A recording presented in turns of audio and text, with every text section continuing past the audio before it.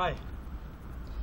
Ich habe ähm, jetzt schon, ich glaube, seit einem halben Jahr das Böker Bushcraft Plus oder Plus Bushcraft. Ähm, hätte auch schon einige ähm, schon einige Reviews darüber gesehen. Die gingen von gut bis schlecht oder so dazwischen. Also ich bin da zwiegeteilt, weil es ist weder richtig gut noch ist es richtig schlecht. Es ist irgendwo dazwischen. Ich würde den Zustand zwischen äh, gut und scheiße äh, ansiedeln, also Geißel. Komm mal näher mit dem Messer. Also, die Maße sind im Internet verfügbar, das muss ich jetzt hier nicht aufzählen. Man sieht, es hat schon einige Gebrauchsspuren, allein schon hier die Scheide. Die Scheide an sich gefällt mir sehr gut. Auch hier dieser, diese Gürtelschlaufe, die ist sehr stabil. Ist recht ordentlich verarbeitet. Jetzt nichts Dolles, aber es ist so im Bushcraft das Stil gemacht. Und da viele Messer diese Maße haben, kann man auch variieren und dann ein anderes Messer da rein tun. Aber es geht ums Messer. Mit dem Mikata-Griffschalen, dem Loch für den Lanyard. Und da muss ich wieder zu sagen, da bin ich ein Verfechter von kein Lanyard. Denn ich mag die Dinger nicht. Wofür braucht man das? Damit man es hier dran macht und man rutscht ab, das Ding schwingt und schlägt dir selbst in den Arm, ins Bein oder sonst wohin. Wenn es mir runterfällt, fällt es mir runter. Dann kann mir nicht viel passieren. Also, Lanyard für mich tabu. Also wenn ich ein Messer nicht festhalten kann, dann nehme ich am besten gar keins in die Hand. So einfach ist das. So, es soll 440C Stahl sein. Das kann ich nicht ähm, bestätigen, aber auch nicht äh, bezweifeln. Dafür fehlt mir die Möglichkeit, das nachzuvollziehen. Was ich aber sagen kann war, das Messer kam sehr stumpf, out of the box, wie man so schön sagt, war ungleichmäßig angeschliffen. Das heißt, also es ist kein richtiger Scandi, äh, der skandinavische Anschliff, sondern ja, die eine Seite war mehr hochgezogen, die andere war etwas weniger hochgezogen. Und das musste ich selber beheben, wie man das sehen kann. Ich bin da kein Messerkünstler, aber jetzt ist das Messer einigermaßen scharf. So, die Mikata-Griffschalen geben einen guten Griff oder Grip. Da ich, äh also ich hatte in anderen Videos schon gesehen, dass einer gesagt hat, ähm, er hätte gesehen, wie, versuch, wie jemand versucht hat, äh, mit einem Messer mal Reifen aufzustechen ist dabei abgerutscht und hat sich die Hände bis auf die Knochen aufgeschlitzt. Entschuldige, wenn ich das sage. Das ist dem Typ richtig oder recht geschehen. Erstens sticht man keine Reifen auf. Zum Zweiten,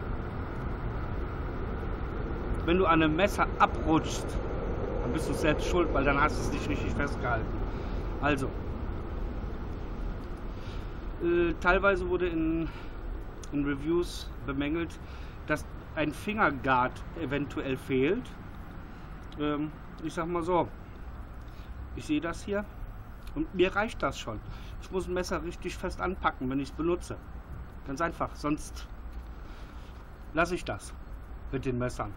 Und dann gehe ich oder gehe ich äh, äh in Oper oder ich treibe mich nicht Autos rum. Ja? Messerschere, Gabel, Licht sind für kleine Kinder nicht. Ganz einfach. So, für mich, ähm, finde ich habe übrigens Messer Nummer 1080. Äh, weiß nicht, ob das gut oder schlecht ist. Ähm, Für mich ist das eigentlich ein, ein Woodlore-Klon. Wurde auch in vielen anderen Foren in ähm, Reviews gesagt. Stimmt so, haben die auch recht, gar kein Thema. Aber wenn wir uns manche Messer angucken, viele sind irgendwie gleich. Irgendwo wird halt schon mal was abgekupfert. Ähm, das ist auch bei Autos erkennbar. Das ist ganz klar. Und so hat halt Böker auch schon mal äh, ein anderes Messer abgekupfert, und zwar das von Becker, das BK2. Ziemlich dreist, inklusive den Griffen. Und ähm, na gut, Böker versucht halt gerne etwas originalgetreu nachzumachen. Für viele ist es nicht schlecht, weil es günstiger ist. So, also ich habe das Messer nachgeschliffen. Jetzt ist es ein bisschen scharf. Ein bisschen ist gut. Und ähm, dazu sei gesagt, der, der, ähm, die Scheide ist für Rechtshänder. Da geht jeder handelsübliche Gürtel durch. Und jetzt kommen wir mal zum kleinen Test.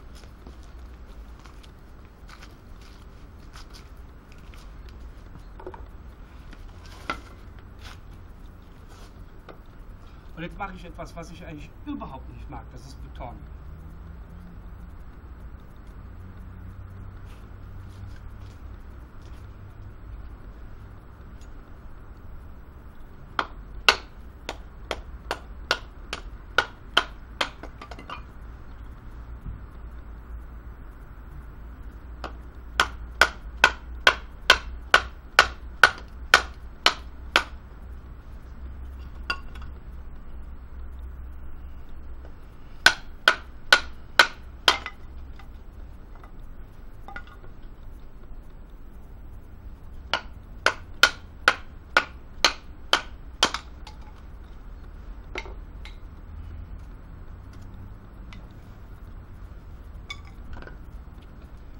Werde ich versuchen, mich hier durch diesen Ast durchzuhacken oder zu schlagen.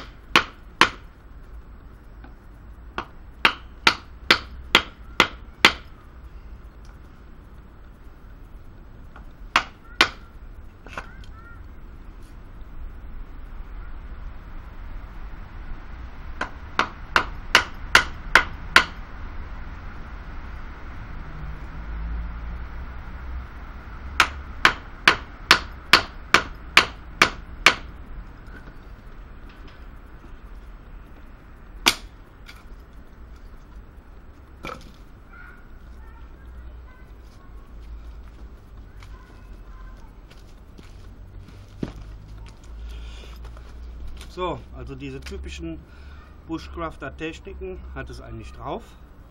Vom normalen Schlitzen auch.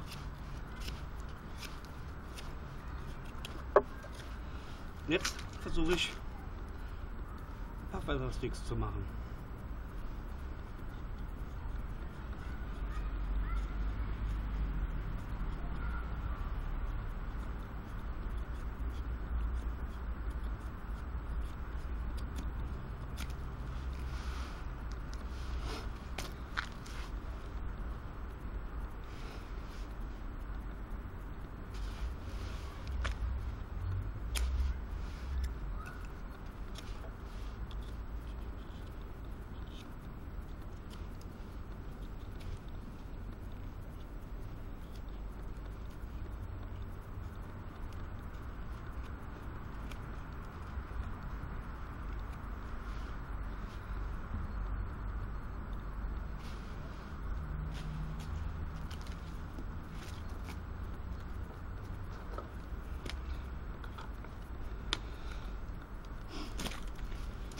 So, das Fazit zu diesem Messer für mich ist. Ah! Jetzt habe ich doch was vergessen. Verdammte Scheiße nochmal.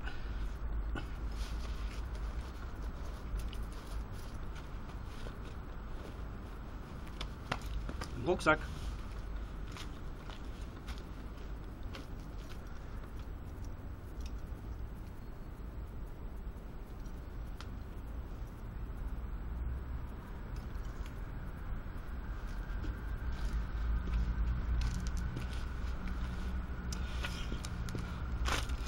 Äh, das Böker Bushcraft Plus kam mit diesem Feuerstahl hier, äh, kommt mit dem Feuerstahl an. In so einer Aluhülse. Und wie man sieht, der ist schon ein bisschen benutzt. Und das Problem bei diesem Feuerstahl war, äh, nicht beim Feuerstahl, sondern beim Messer, dass äh, bei diesem Feuerstahl hier an einer Kette ein ähm,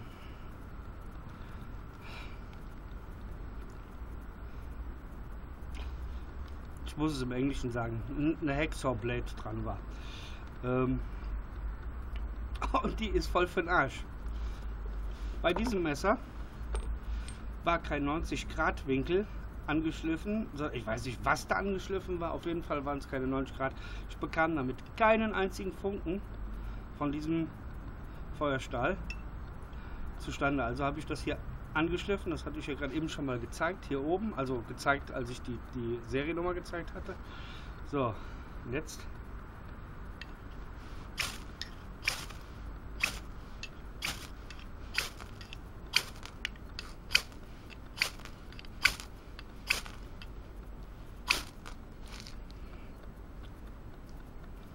Und jetzt versieht er seinen Dienst. Ganz wie es eigentlich sollte, wie es ein Messer äh, tun sollte.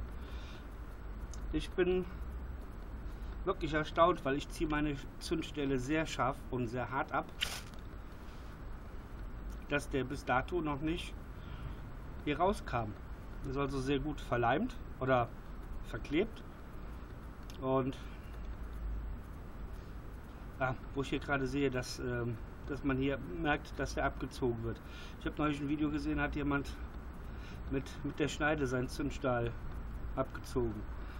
Ähm, ich denke, Bushcrafter wissen, dass diese Person nicht wirklich viel Ahnung hatte. Das war auch ein, ein deutsches Review zu dem Böker Bushcraft Plus. Ähm, so an, an, und für sich ist der nicht schlecht. Ne?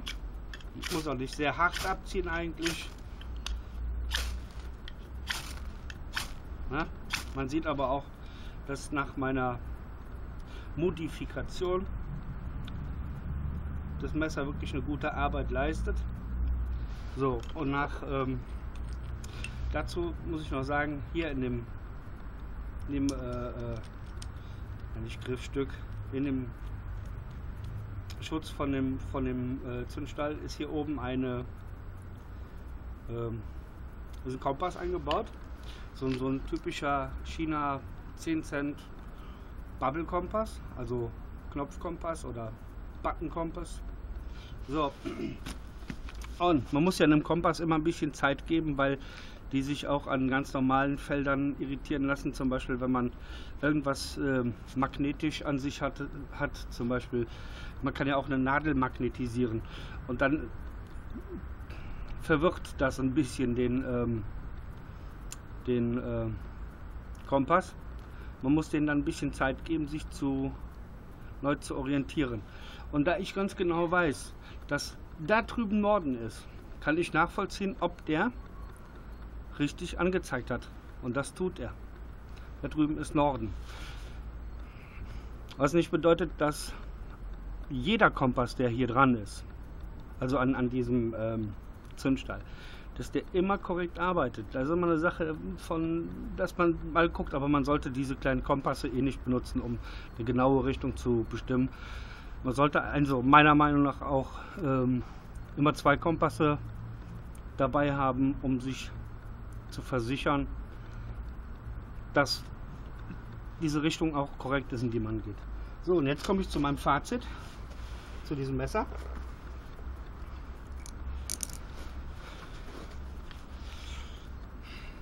Für den Preis. Ich habe da glaube ich 54 Euro und der Versand war mit drin bezahlt äh, über einen Versender bei Amazon oder Amazon.